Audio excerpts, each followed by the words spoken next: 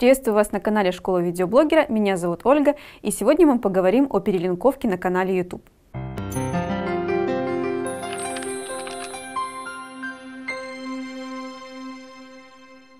На YouTube перелинковка является любое перенаправление зрителей на другие видео или каналы, сайты или товары.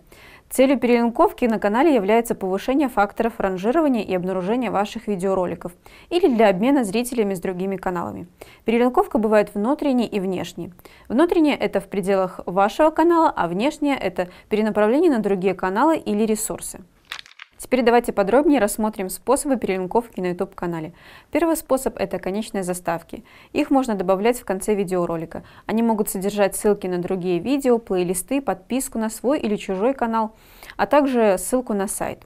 Второй способ – это подсказки. Подсказки добавляют в видео с целью порекомендовать зрителю определенный а, контент, видео, плейлисты, каналы, а также добавить опрос. В одно видео можно добавить до 5 подсказок. Следующий третий способ – ссылки в описании под видео. В описании тоже можно добавлять э, ссылки на другие видео, плейлисты, а также ссылки на другие каналы и сайты.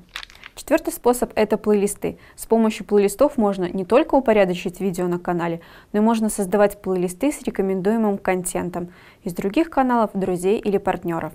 С этим способом тесно связан следующий, пятый – соавторы. Этот способ подразумевает, что вы можете разрешить другим авторам добавлять видео в ваши плейлисты и сами добавлять видеоролики в чужие плейлисты.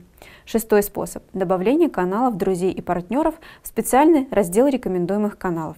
Седьмой способ – трейлер канала для подписчиков. Вместо него можно добавить, например, а, видеоролик или трейлер канала, который вы хотите порекомендовать или продвинуть. Восьмой способ – новостная лента вашего канала, в которой отображаются все ваши действия. Это новые видеоролики, которые вы залили на канал, комментарии, которые вы написали, или лайки, которые вы ставили другим видеороликам.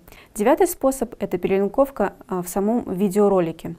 То есть а, вы используете скрытую встроенную рекламу в ваших видеороликах или так называемый product placement с целью перенаправить зрителя на другой ресурс. В этом видео вы узнали о способах перелинковки на YouTube-канале и для чего они нужны. А какими инструментами пользуетесь вы на своем канале?